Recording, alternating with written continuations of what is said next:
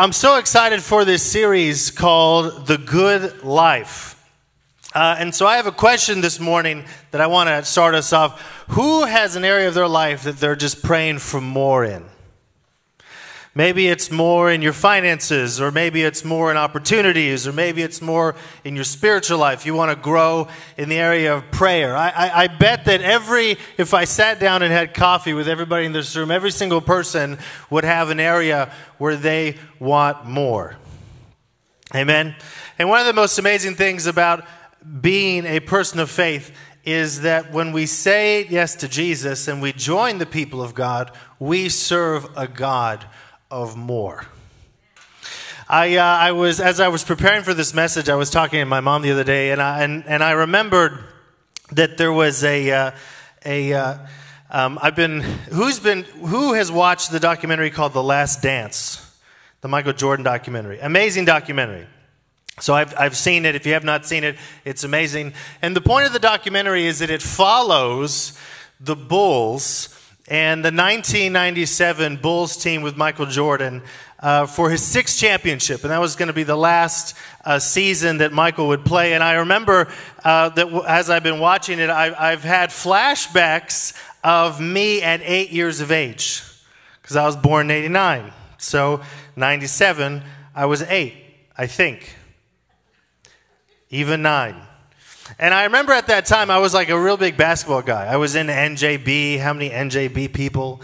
National Junior Basketball League. And, and I was a big fan of Allen Iverson, right? And I remember these Iversons came out, and, and uh, I had developed a reputation among my friends as that shoe kid. Do you know what I'm talking about? Like the, the kid that just loved basketball shoes. And, and so I remember that the, these Iversons had come up. These uh, Allen Iversons, who played for the Philadelphia 76ers, had just dropped, and I wanted them so bad. And so I started like hustling my mom for money. Who's ever done that as a kid? Like you, you have something that you really want, you want that more in a certain part of your life, and you start kind of finding creative ways to, to, to get it. And I remember I was like bugging my mom. I was full court pressing her for her to buy these expensive shoes. And at the time, they were like $120, which is a lot today. But when I was that age, like due to inflation, that was like $11 billion, right? Because like how many remember the world before inflation? And I, and, and I remember I, I was bugging my mom for so long and she, for the longest time, refused to buy them. And I, and I remember being like, Mom, like, why? Won't you buy me these shoes? And she said, Because you don't take care of the shoes that I've given you. And so that was a tough one to hear as a kid, right? And it also kind of went in one ear and out the other. And so I, I, started to promise my mom, like, Mom, don't worry. Like, I'll take care of these shoes, I promise. Like, I'll, I'll take care of them in such a way that it will shock you. So I, I, started to barter with her and negotiate. And anyone who knows me knows me knows that I, I, can be a little bit like that. And so I just started negotiating. I said, "Okay, I promise, I promise, I promise I will I, I, bet my integrity on this. I will take care of these shoes if you just get them for me. And so I remember that it was like an occasion. My mom picked me up from school and, and we went to the mall and, and I had my, my sneakers picked out and I bought them and we took photos. It was adorable, right? And and and and so I remember I got these shoes and and so I was so excited and I had them and, and we had a van because my dad's from Sweden and, and so he was, he always, even though he was a guy, he always drove vans because of their practicality. Has everyone ever seen one of those guys? That was my father. Uh, he's watching right now. And, um, and I remember I got these shoes and so we got home and my mom went in the house and a friend of mine uh, wanted to play basketball and so I jumped out and of course I started playing basketball with these new, brand new $120 white shoes. Someone say, bad idea. and so I remember I played, and I kid you not, I lasted about four minutes. And so the ball hit the rim and bounced, and right by the house, there was a little plot of dirt. You know how when you have like these track homes, right? And they give it to you with dirt, like because we just moved in, there wasn't any like garden, any anything yet. And so, and it had, the sprinklers had just gone on. So it wasn't dirt, it was mud. And so I remember my little old nine year old self went up to grab this basket and just jumped in the mud, and my shoe went like three inches deep. And I freaked out. It was so bad. And I remember the, the sheer terror and the horror. Number one, of destroying these amazing shoes, but number two, the wrath of my mother. Come on, somebody. And so I, I, started, I didn't know what to do. I started freaking out. And I think my dad was there and he was outside and he just started laughing. And my mom was inside and, and he kind of looked at me like, yeah, good luck with that one, buddy. Like, you're going to have to, you on your own. I ain't taking this shot for you. And so I, I, I went to the hose and I started cleaning it off and I was like madly trying to save my right shoe. And I remember that I, I got it clean enough and I walked in and I was like, oh, I'm going to lie to my mom. I'm going to try to get by her. So I walked in, oh, yeah, these shoes are amazing. And then she said, stop right there, honey. And she turned around and looked right at the shoe. And right where the seam of the shoe, they have, they have what do you call it, like a white, um, yeah, a white stitch. And the white stitch was brown. And she looked at me and said, what did you do with these? St-? And I, it was not great. And after that, I just kind of blacked out. Like I didn't know what happened. It wasn't good. Something happened, right? I don't know. I, I, I woke up the next day at school. It was crazy. Yeah. And I'll never forget this because I, I remember it was a, a, real lesson that, and, and my mom would never let me live that down. So for like eight years, every time I needed to buy something, she would say, Well, you, you better not do what you did with those Iversons. and and I, I learned such a valuable lesson that day because the moral of the story is simple is that when we want more in life, it starts by what we do with our less. Many people in the world want to live a good life. But there are principles that the scripture gives us on how to live that life. And so there are four keys that the Bible gives us on how to organize ourselves, behaviors, plays that we can run. And so that's what we're going to be discussing this month. And so, key number one is the key to more is taking care of less. Translation Do not do what I did with those Iversons because it will lead to nothing but cheap shoes for about 10 years. And I want to read this. Luke 16:10. Whoever can be trusted with very little can also be trusted with much. And whoever is dishonest with very little will also be dishonest with much. I love this because what we do in the small is always what you'll do in the big. I, uh, for those of you who do not know, I do uh, executive coaching with my uncle Tim pretty often, and, and and it's really cool because we get to work with people who are often getting promoted in leadership positions. So it's like someone who did great at their job, right? And then they get a new job. And, and so we're always looking at research and, and uh, about how people learn, how people develop, how people can be successful. And, and so one interesting statistic that I found that I thought was so fascinating is that everybody wants more money, right? Everyone believes that they, if they were given a lot of money, their life would be easier. But they did this really interesting study where they, they looked at people that had won the lottery. And what they found was that regardless of how much a person has won, 70% of people spent all of it within two years. And 50% ended up in more debt than when they started. Isn't that wild? It doesn't matter how much. So they looked at people that won $500,000, $5 million, $15 million, some of those like Mondo jackpot winners, right? You always see the crazy number. 70% of people that win the lottery lose all the money within two years. That's a crazy statistic.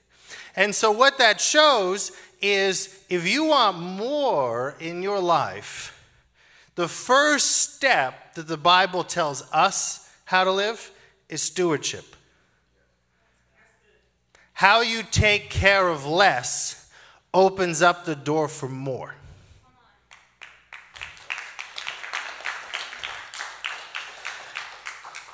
And it's a it's a powerful powerful lesson and you see it everywhere. I just recently met with my buddy Stephen Bellissimo, who is the best man at my wedding. He's watching right now.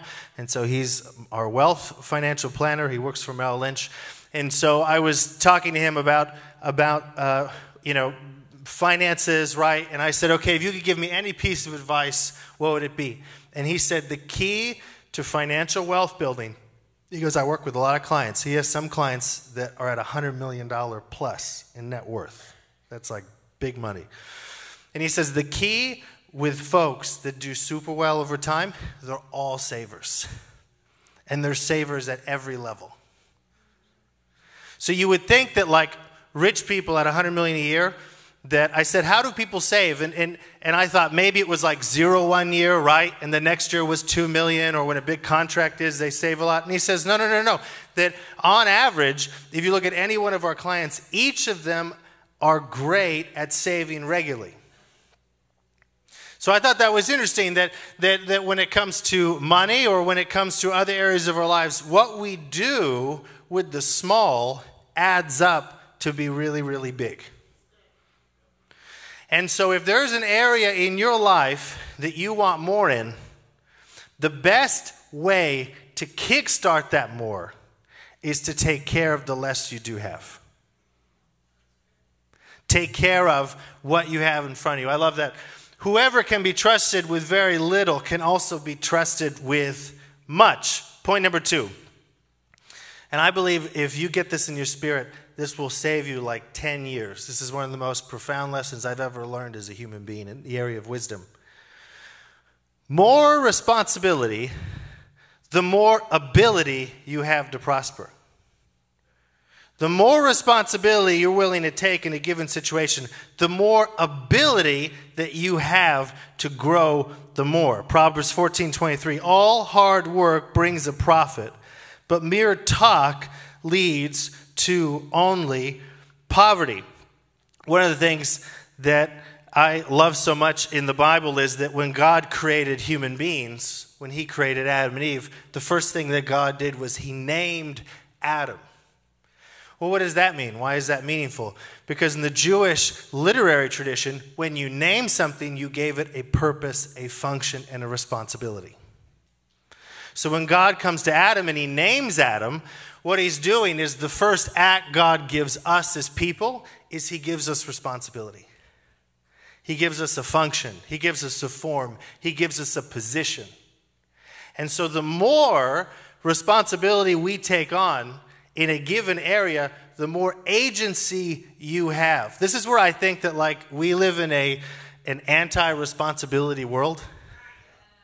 Who feels this way? Like it's like it literally, it's like we promote as a culture anti-responsibility. It's all about choices, right? And so I feel like that's the general general uh, message that we give to a lot of young people that it's about like don't burden your life up with responsibility. Like give yourself the freedom to move around and make choices. Well, that's great when you're 20. But what they don't tell you is that opportunities increase with the amount of responsibility you take.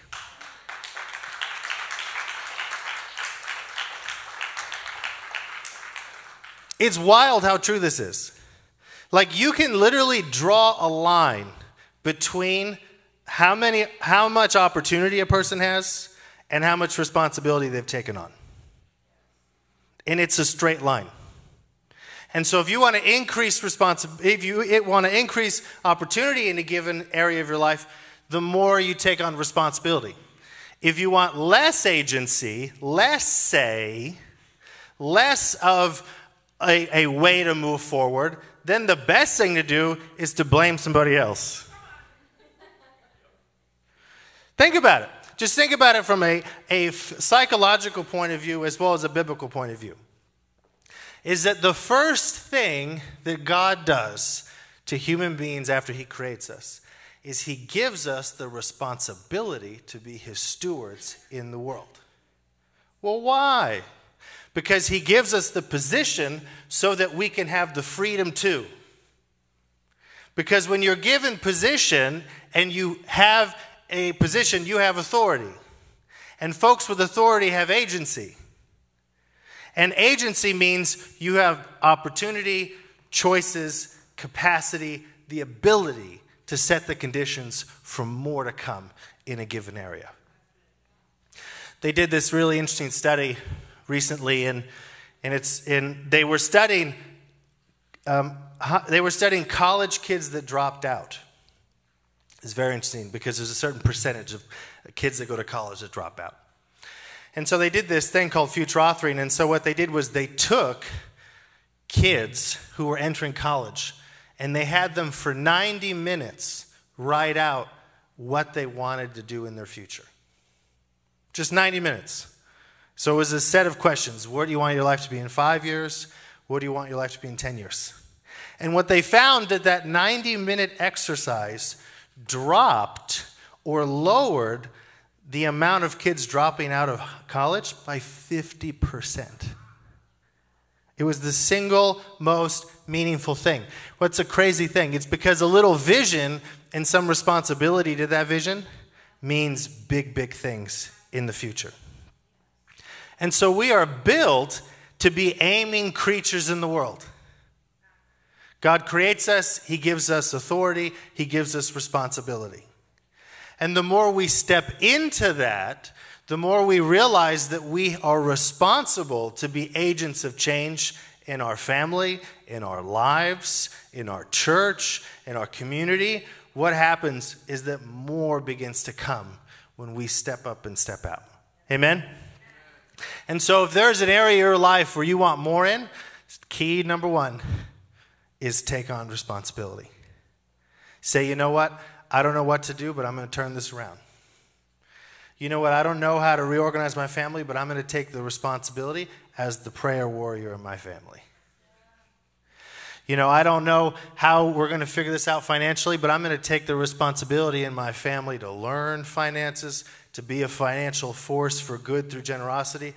I want I'm going to be the person in my family to cultivate a culture of generosity and giving and of service in my family. When we take on that position, opportunities increase dramatically. And so, the one thing you want to do always in life is where can I take a little bit more responsibility? Because the more responsibility you take, the more your territory expands. There's an amazing scripture in the Bible, and this is point number three. And this is 2 Corinthians 9 6. Whoever sows sparingly will also reap sparingly. And whoever sows bountifully will also reap bountifully. 2 Corinthians 9 6. Small seeds reap big harvests. 80% of your life are small, repeatable habits that you do every day. Isn't that crazy?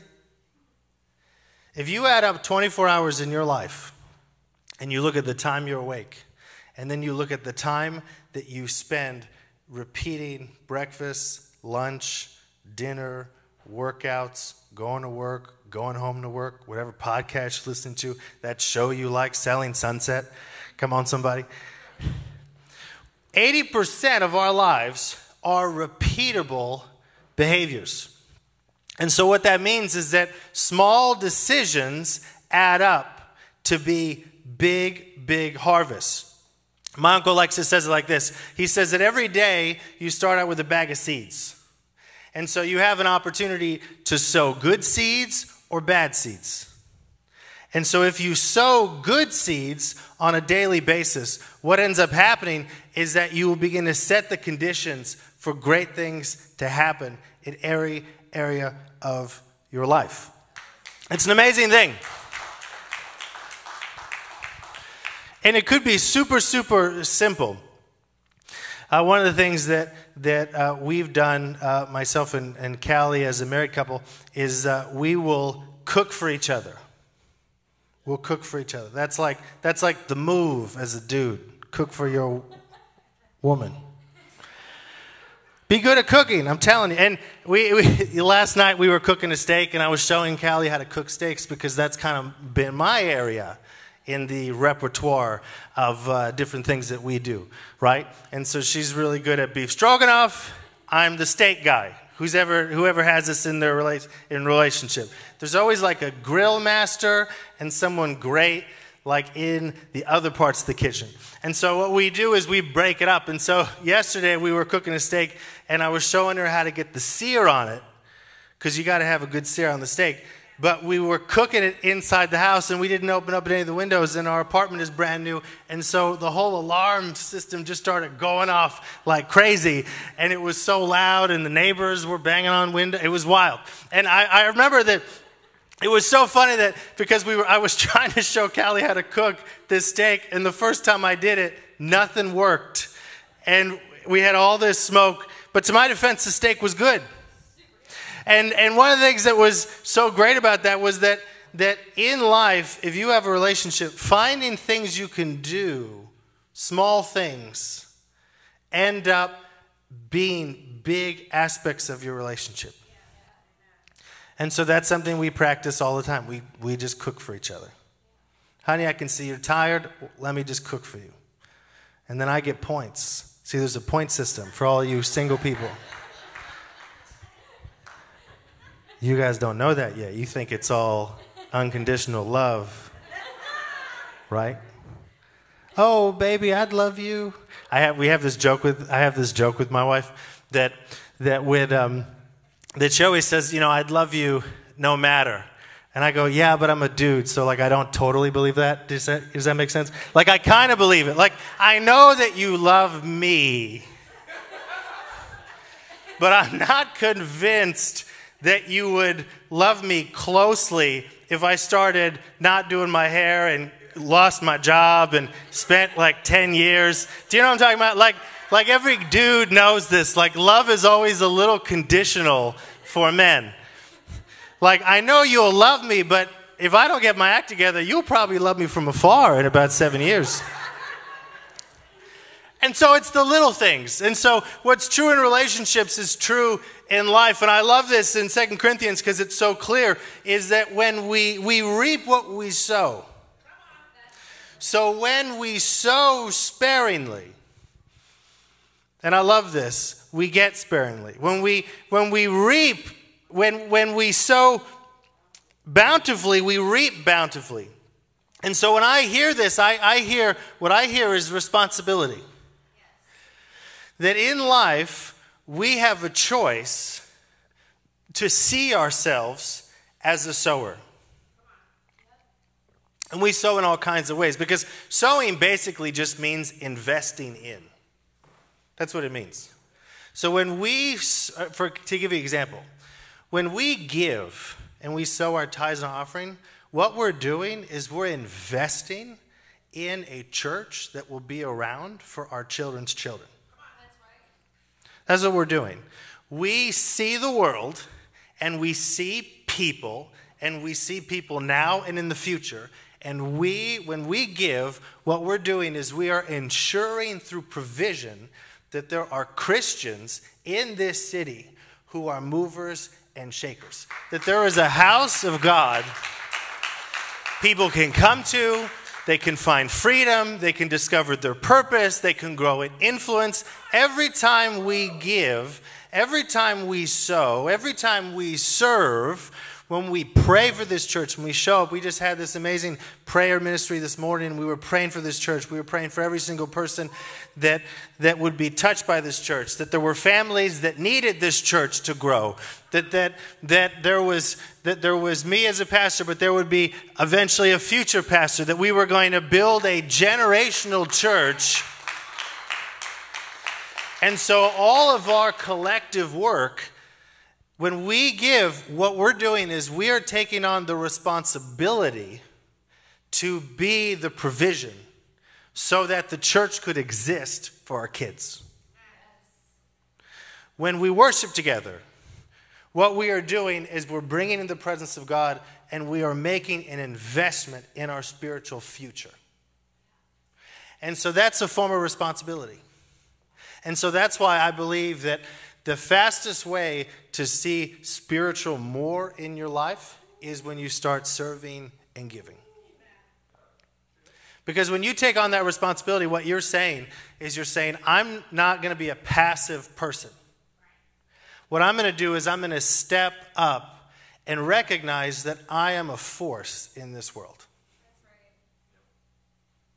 That's what we need, I think, as Christians. I think so many Christians today in our culture, it's almost like a two year Christian. It's like we've built all these big churches, right, to get people to that two year position.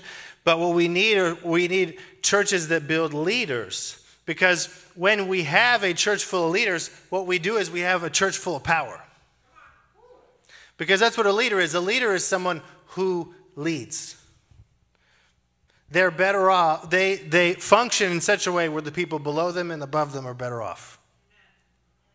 And so that's why you can lead at every level. And I love this because leadership starts with small moments of responsibility.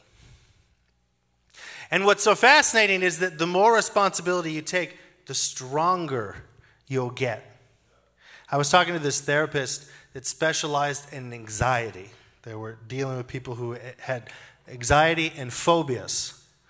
And so this is common. One third of people deal with anxiety. Who's ever had a moment of anxiety? I've had a moment of anxiety in my life. And so what they found was that they, I, I, was so interested in, and, and I wanted to know, like, how do you treat people with crippling fear or anxiety?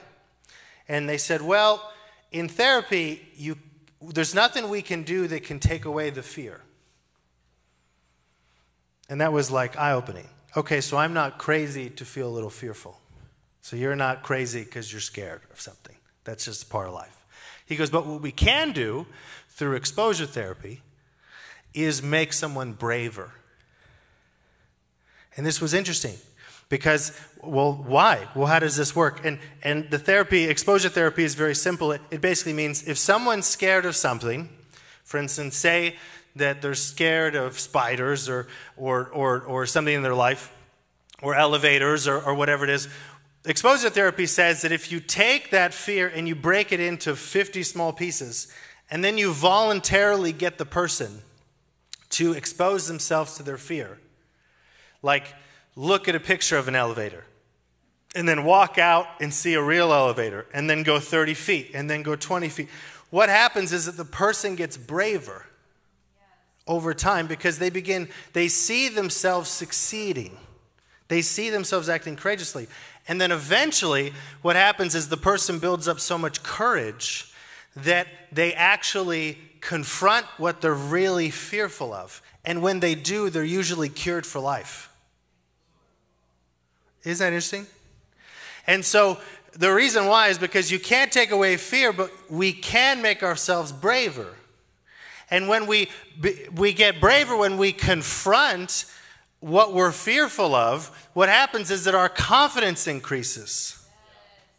And so that's why responsibility is so crucial to development in our world. And it's such a, an amazing key that opens up more because when you see yourself as important, you're too important. You're too important not to face this fear. You're too important not to grow. You're too important not to be a leader. You're too important to your family. When you recognize how important you are, and then you begin to step out in that importance, what happens is that it just leads to more. It unlocks the door of more. Because what happens is with every step, every time you give, and it's weird, what happens is you realize you go from this is odd to I'm a participator. Then you go from I'm a participator to I'm a giver. Then you go from I'm a giver to I'm a builder. Then you go from I'm a builder to where I go, people get better, I bring influence.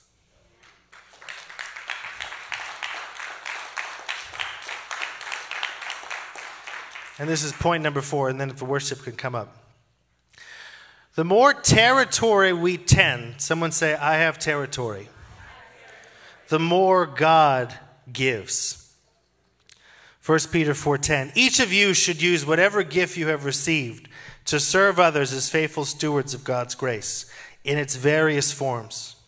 If anyone speaks, they should do so as one who speaks the very words of God. The moment my life began to really shift in the area of opportunity was through service. This is a personal note. I became a pastor when I was 27 years of age.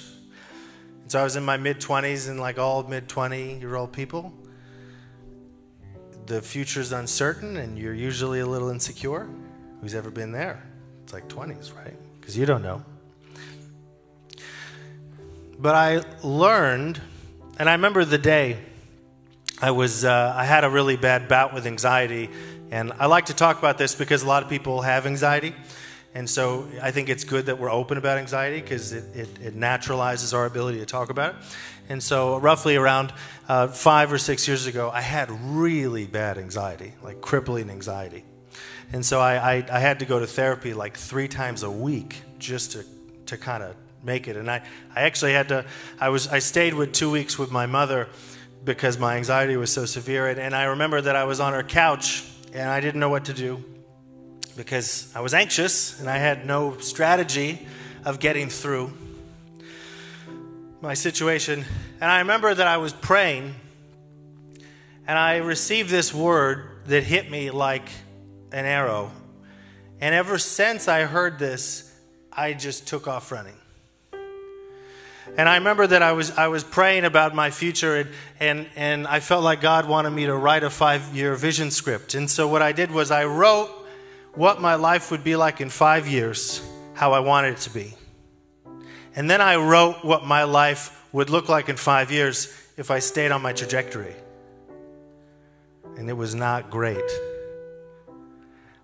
I had an amazing vision, but then I also realized that, man, if I didn't fix some things, I'm going to be stuck five years from now. And in my prayer life, I've, i remember I went to scripture and, and I, I felt God so clearly revealed to me, Stefan, the mistake you're making is that you don't think you matter enough.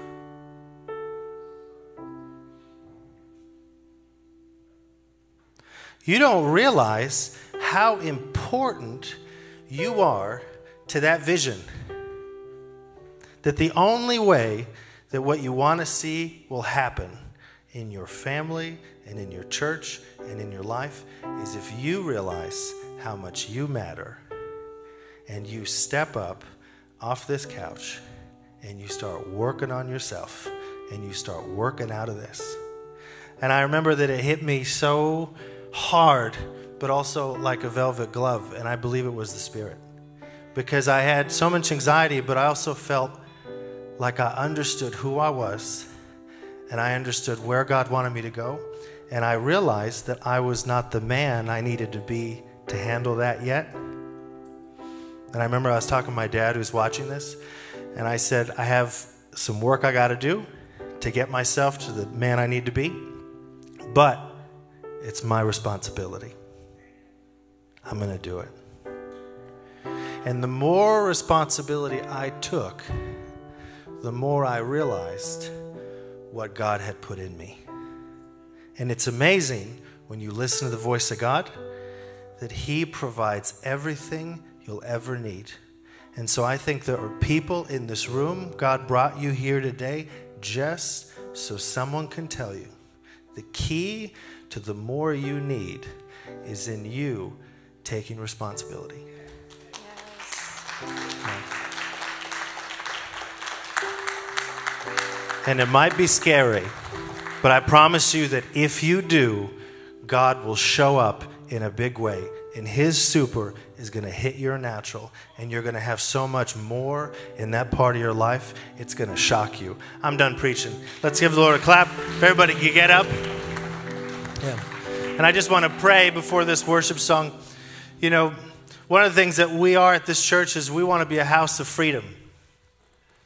Every area of your life, there are things that you need broken off of you.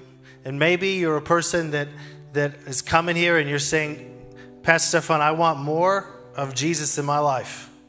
I want more God in my life. I want more freedom in my life.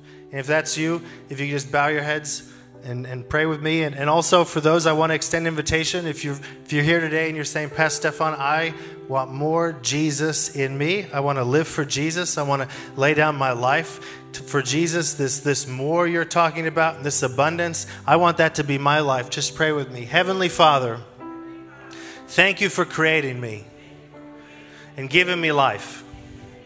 Thank you for sending your son to change my life.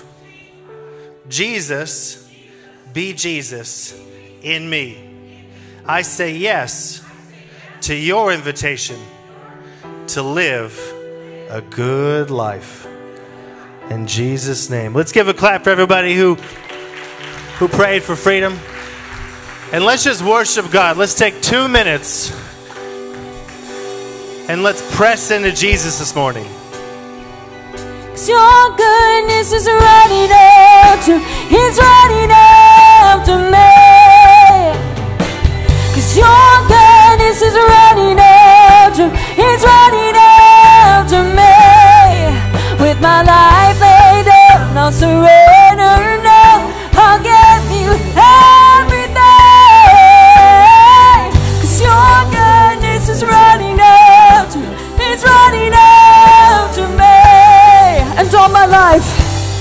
and all my life you have been faithful. And all my life you have been so,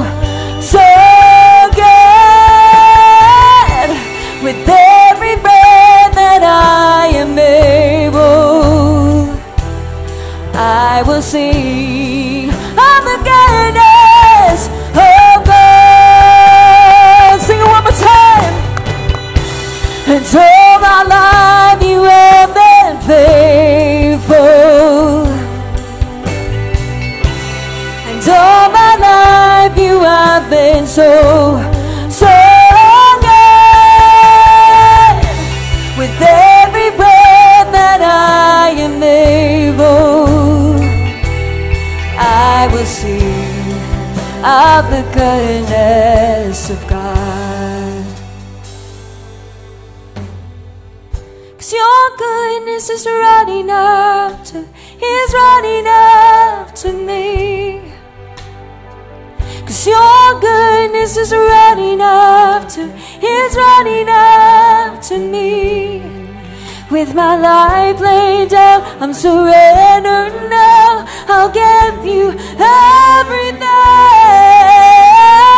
Cause your goodness is running after, is running after me. I don't know about you guys, but I'm loving the good life. Can we give Pastor Stefan another clap as he opened us up?